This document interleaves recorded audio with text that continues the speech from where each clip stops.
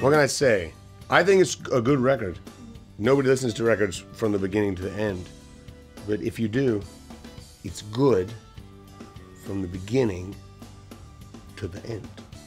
And uh, there's some noisy stuff on it. It's all about love. It's love of the future. It's a love of hope. It's a love of family. It's a love of the planet. It's a love of lust. It's a love of attraction. There's a lot of love on it. And it, but it comes from love, because some of the songs are really sad, you know?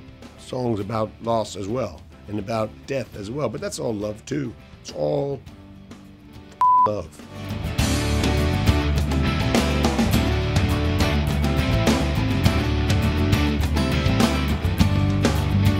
This album is different from all of the previous albums. I don't know if I've finished an album, as you put it, uh, and been this feels so good about it.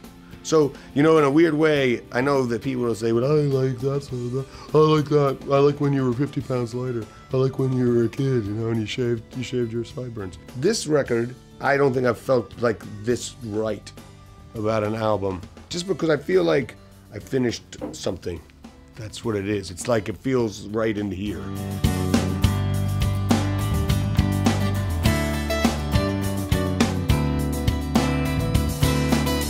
Whole world has changed since I made my first album.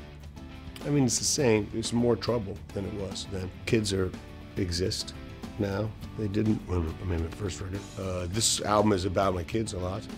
It's about uh, my family a lot. And this album is different because I'm, I'm, looking at the world differently. I'm, so I'm old, er, but when I turned 50, I started to give less of a. Can you say on iHeartRadio? I, I'll say it like this. When I turned 50, I started to give less of a about everything. And in a weird way, more of a about everything. And I started not to be a, but more like, oh, that's what you think.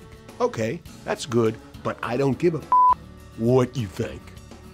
And I think that helped me because I turned 50 and I thought to myself, what the Thanks for watching. Make sure to subscribe for more videos from your favorite artist. While you're here, check out these other videos.